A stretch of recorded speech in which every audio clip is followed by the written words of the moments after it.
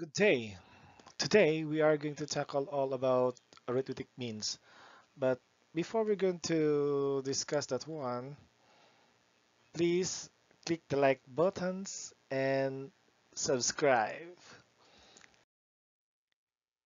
In today's discussion, we are going to answer or show you the ways or the ways of answering activity 1 of module 2. So how to find arithmetic means in a given sequence. So I have here an example 3 blank blank blank 39. So first is we're going to identify the parts of the given sequence. The 3 there is our first term, while 39 is our last term. If we are going to count how many terms are there, there are 5. So thus, our n is equals to 5.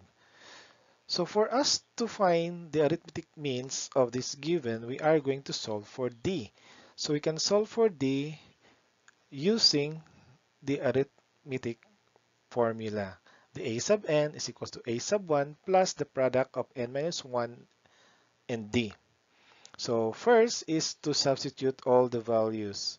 So we do have there the a sub n which is 39 while a sub 1 is equals to 3. Then substitute the value of n which is equals to 5. So what is 5 minus 1?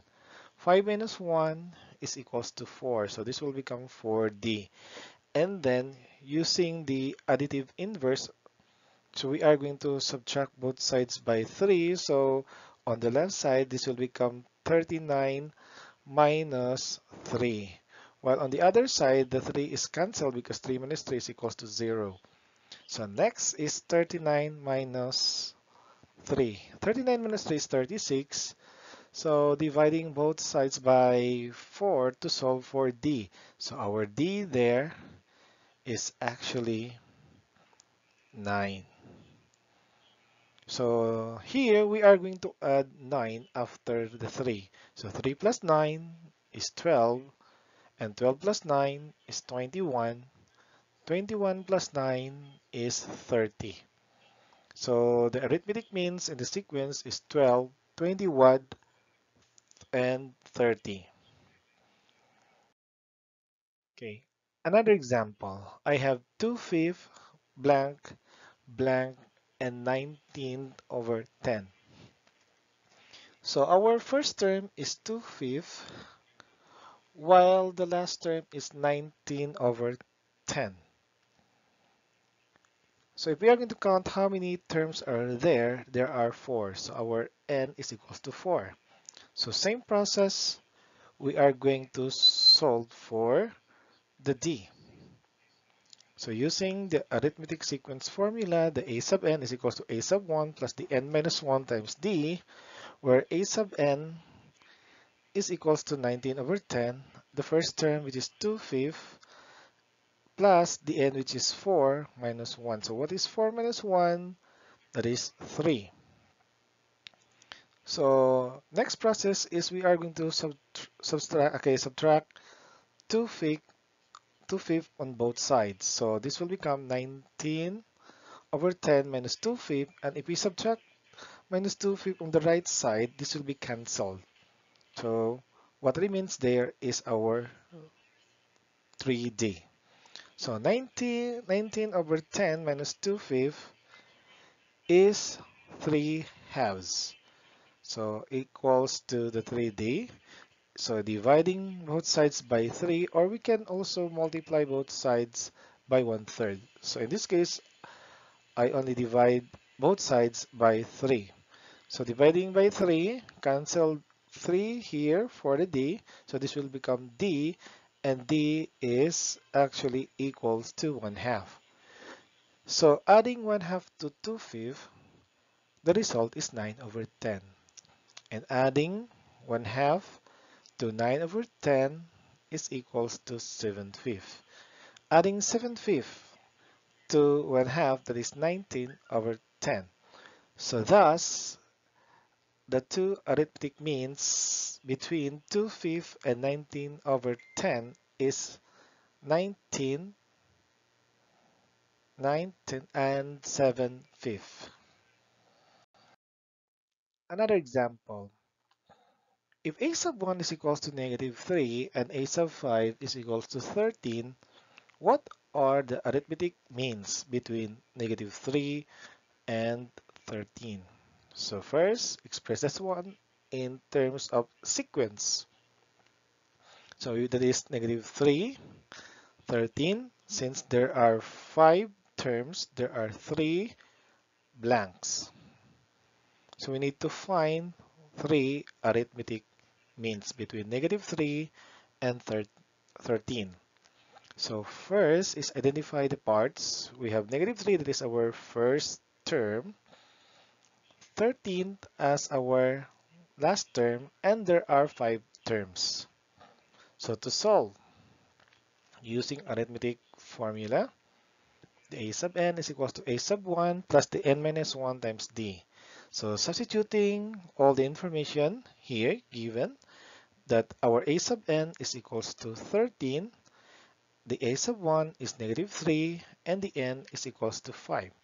So next is to solve what is 5 minus 1, 4. So this will become 4d. So 13 is equals to negative 3 plus 4d. Adding both sides by 3 to cancel out negative 3. So if we add 3 on the left side, this will become 13 plus 3. Adding 3 on the right side, so negative 3 plus 3 is just 0. So what remains is 4d and 13 plus 3 is equals to 16. To solve for d, we divide both sides by 4. So divide both sides by 4. Our d is equals to 4. So negative 3 plus 4 is 1. And 1 plus 4 is 5. And 5 plus 4 is 9. So thus, the arithmetic means between negative 3 and 13 is 1, 5, and 9. Okay, now let's proceed to another example. This is quite complicated, but actually very easy to solve. So you are to find the value of x when the arithmetic mean of 3x plus 1 and x minus 7 is equals to 5x minus 9.